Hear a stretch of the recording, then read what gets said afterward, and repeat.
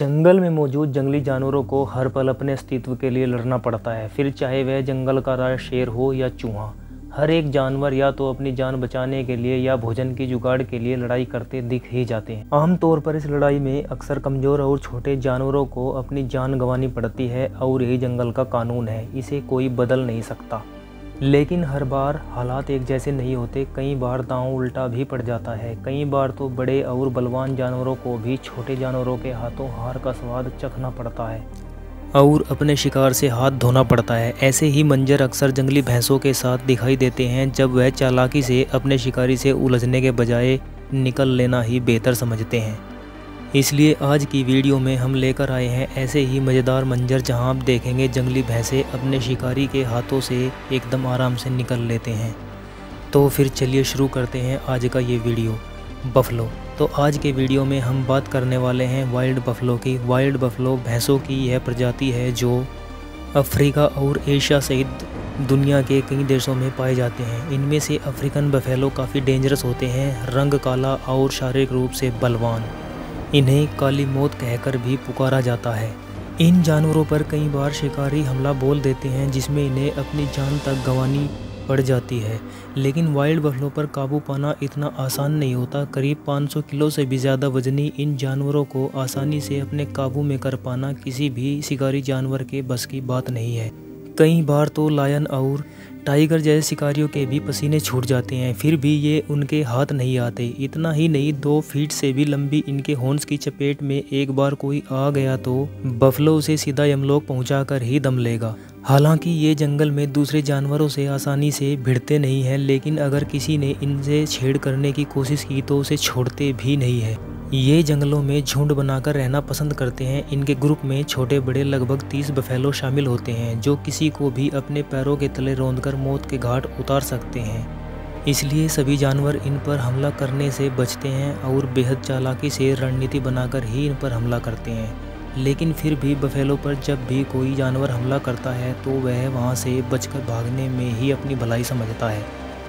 तो आज की इस वीडियो में हमने आपके लिए ऐसे ही कुछ सीन्स को अरेंज किया है, जिसे देखकर आप सोच में पड़ जाएँगे। अगर जंगल में भैंस जैसे बड़े जानवर का इन खुकार जानवरों से बचना मुश्किल होता है तो छोटे जानवरों की क्या हालत होती होगी? पहला वीडियो बफेलो वर्सेस लॉयन यूँ तो जंगली जानवरों के बीच खून खराबा, नोच खसोट और मारकाट चलता ही रहता है। जंगली जानवरों के बीच इस खतरनाक खेल का सामना एक ना एक दिन हर जानवर को करना ही पड़ता है। लेकिन आज ये बारी इस बफेलो की है जो इन शेरों के बीच में फंस चुका है। साथ ही ज़िंदगी और मौत के बीच जूझ रहा है, लेकिन इस वीडियो को देखकर आप अंदाज़ा लगा ही चुके होंगे कि शेरों से बचने के लिए बफेलो पानी में उतरा है, लेकिन क्या इससे इसकी जान बच जाएगी, ये तो हम नहीं जानते। लेकिन ये होकार शिकारी इतनी आसानी से बफेले को जाने नहीं देंगे। हालाँकि शेरों के इस चक्रव्यूह को तोड़ना तो यह भैंसा चाहता है, लेकिन शेरों के इस घेरे से निकलना इतना आसान नहीं है। और हार कर बफेलो को फिर से पानी के अंदर जाना ही पड़ता है। मौत को देखकर आखिर कौन आगे बढ़ना चाहता है? बफेलो को पता है कि अगर आज यह इन शेरों के हत्थे चढ़ गया तो यह इसे जान से मारकर ही दम लेंगे।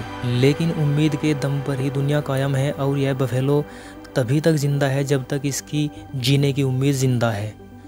आखिरकार बफेलो ने इन शेरों से खुद को बचाने के लिए उपाय सोच ही लिया और पानी के इस स्रोत को पार करके वह दूसरे किनारे पर जा पहुँचा। आज इस बफेलो की किस्मत इसके साथ थी जो आज इसकी जान बच गई।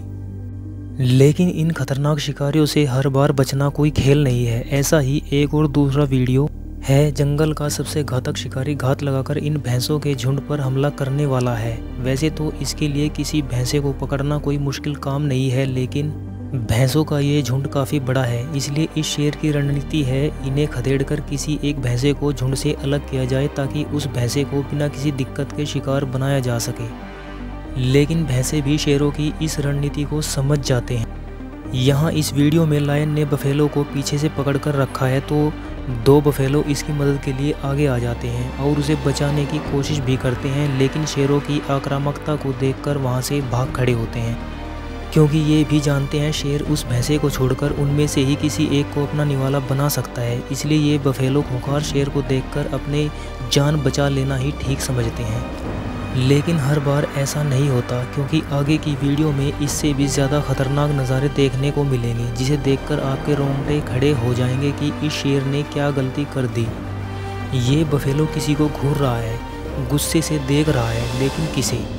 तो इस बफेलो की नज़र इस शिकारी शेर पर थी। बिना कोई देरी किए इस बफेलो ने राजा शेर को हवा में उछाल कर पटक दिया और इस बफेलो ने शेर को ज़ोर का झटका धीरे से दिया, या यूँ कहें ज़ोर से ही दिया।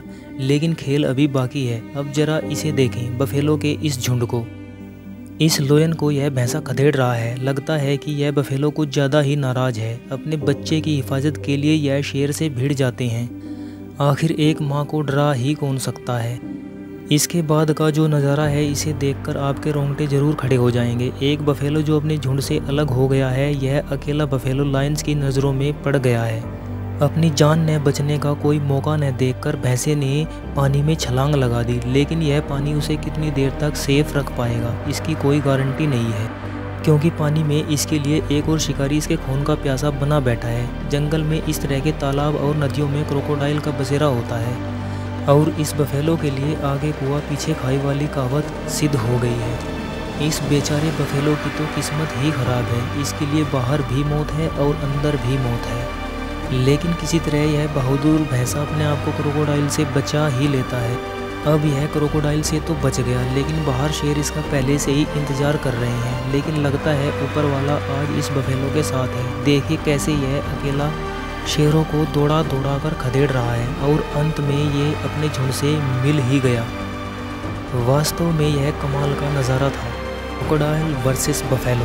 बात जब क्रोकोडाइल की हो रही है तो समझ लेना चाहिए यह जानवर अपने शिकारी स्वभाव के लिए जाना जाता है। यह खूंखार जानवर डायनासोर के समय से ही पृथ्वी पर मौजूद है और यह नदी, तालाब, झील और समुद्र में पाया जाता है। इसके हमले से बचना यानी भगवान से दूसरी ज़िंदगी मिलना ही है। जंगली जानवर चाहे कहीं भी रहते हों, कुछ भी खाते हों, लेकिन पानी पीने के लिए उन्हें तालाब या नदियों के पास आना ही होता है। और इसी बात का फ़ायदा उठाकर यह खतरनाक जानवर इन पशुओं को अपना शिकार बनाता है। यहाँ इस किनारे पर बहुत सारे बफेलो चले आए हैं। क्या ये आज इन पर हमला करके इनमें से किसी को अपना शिकार बना पाएगा? आखिरकार पानी में घात लगाकर बैठे हुए इस राक्षस ने इन बफेलो पर हमला कर ही दिया। हालाँकि क्रोकोडाइल की पकड़ मज़बूत नहीं दिख रही तो बफेलो इसका फ़ायदा उठा पाएगी। चलिए देखते हैं। बफेलो ज़िंदगी और मौत के बीच जूझ रही है। एक भी गलती उसे मौत के आगोश में ले जा सकती है। लेकिन आज यह बफेलो इस मगरमच्छ का खाना बनने के मूड में कतई नहीं है। अपनी पूरी ताकत लगाकर इस बफेलो ने मगरमच्छ को ही पानी से बाहर खींच लिया है। है ना इस बफेलो में कमाल की ताकत? अपने आप को पानी से बाहर दूसरे बफेलो से घिरा हुआ देखकर मगरमच्छ दुम दबाकर भाग निकला। अब देखते हैं अगला वीडियो। बफेलोज के इस झुंड में लगभग सैकड़ों सदस्य है और इस झुंड में सभी उम्र के बफेलो शामिल है। बफेलोज की खासियत है कि यह जंगल में हमेशा ग्रुप में ही रहते हैं और साथ ही साथ ग्रुप में ही चरते हैं। इसे आप बफेलो की ताकत भी कह सकते हैं और कमज़ोरी भी। क्योंकि इतने बड़े ग्रुप से शिकारी को एक ना एक शिकार तो हाथ लग ही जाएगा। ऐसा ही कुछ पानी में बैठा यह मगरमच्छ भी सोच रहा है। पानी पीने के लिए आगे आए इस बफेलो पर मगरमच्छ अचानक ही अटैक कर देता है। लेकिन इसका निशाना चूक गया और बफेलो की जान बच गई। लेकिन ऐसा बहुत कम ही देखने को मिलता है। अब आपको एक और चौंकाने वाला सीन दिखाते हैं। दो बफेलो पानी में बैठकर आराम करते हुए नज़र आ रहे हैं। लेकिन ये बेचारे आने वाले खतरे से बिल्कुल अनजान है। तभी अचानक क्रोकोडाइल ने बफलो के पैर पर अपने जबड़े से पकड़ बना ली। क्रोकोडाइल छोटे जानवरों को तो अपने जबड़े में पूरी तरह से जगड़ लेते हैं, लेकिन किसी बफेलो के साथ वह ऐसा नहीं कर पाते, क्योंकि बफेलो का आकार काफ़ी बड़ा होता है। इसके साथ ही इनके काफ़ी ताकतवर होने की वजह से क्रोकोडाइल इन्हें आसानी से पानी के अंदर भी नहीं खींच पाते, और ऐसा ही नज़ारा यहाँ भी देखने को मिल रहा है। जब बफेलो ने क्रोकोडाइल को ही पानी से बाहर खींच लिया और बफेलो के साथ ही दूसरे बफेलो ने गुस्से में आकर क्रोकोडाइल को ही हवा में उछालकर पटक दिया। विश्वास कीजिए, ऐसा जिगरा तो केवल बफेलो के पास ही हो सकता है। Hippo attack buffalo. अब इस हिप्पो को ही देख लीजिए, पानी पीने आए इन बफेलो से इसकी कोई लड़ाई नहीं है और ना ही इस बफेलो ने हिप्पो को परेशान किया है, लेकिन फिर भी हिप्पो भाई साहब इन पर अपनी दादागिरी झाड़ रहे हैं। बड़े आकार के इस हिप्पो का वज़न करीब तीन हज़ार किलो तक होता है, जबकि किसी बफेलो का वज़न एक हज़ार किलो। अब अगर कोई बफेलो किसी हिप्पो से उलझ पड़ता है तो इसका अंजाम क्या होगा? दूसरी बात, बड़े आकार वाला ये हिप्पो काफ़ी एग्रेसिव भी होता है। यही ऐसा अकेला जानवर है जो पानी में भी रहते हुए मगर से बैर करता है, और यही नहीं, मगरमच्छ को मज़ा भी चबाता रहता है। और यही वजह है, बफेलो यहाँ से खंबा बचाकर निकलने में ही अपनी भलाई समझते हैं। Tiger attack buffalo. अब जंगल में टाइगर का सामना कौन कर सकता है? भला इसे देखकर तो दूर से ही जानवर भाग जाते हैं। यहाँ देखिए, एक टाइगर ने भैंसों के झुंड पर हमला बोल दिया है। सारे बफेलो तो भाग खड़े हुए हैं, लेकिन एक बफेलो को इस टाइगर ने दबोच लिया है। लेकिन ये बफेलो अपने झुंड का पूरा पूरा ख्याल रखते हैं। देखिए कैसे यह बफेलो वापस आकर टाइगर को भगाने में लग गए हैं। इसे कहते हैं टीम स्प्रिट। लेकिन टाइगर अभी भी भागने को तैयार नहीं है। टाइगर को भी अपनी जान की फ़िक्र है और ना चाहते हुए भी टाइगर वहाँ से निकल लेने में ही अपनी भलाई समझता है।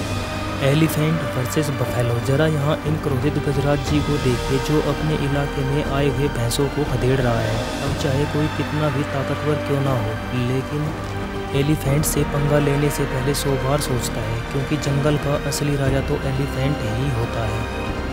Wild dog versus buffalo. जंगल में आकार और शिकारी अंदाज में काफ़ी अंतर होता है। ज़रूरी नहीं, बड़ा जानवर ही घातक शिकारी हो सकता है। अगर आप ऐसा सोच रहे हैं तो वाइल्ड डॉग के बारे में थोड़ा जान लीजिए। वाइल्ड डॉग एक ऐसा जानवर है, जो शेर जैसे शिकारी को भी नाको चने चबवा सकता है। इसलिए इसके आकार पर बिल्कुल भी मत जाइए। देखिए कैसे इसने बफेलो के इतने बड़े झुंड को जान बचाकर भागने पर विवश कर दिया है। तो यह थे कुछ कमाल के मोमेंट जिनमें बफेलो शिकारी जानवरों से अपनी जान बचाने में सफल होते हैं। आखिर क्यों बफेलो इन शिकारी जानवरों से भिड़ना नहीं चाहते? ये तो आपने इस वीडियो में देख ही लिया।